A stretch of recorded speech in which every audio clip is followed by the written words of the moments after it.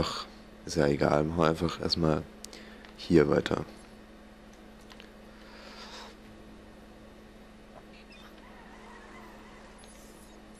Es war zwar nicht, dass es eigentlich danach kam, aber ist ja nicht so schlimm, oder?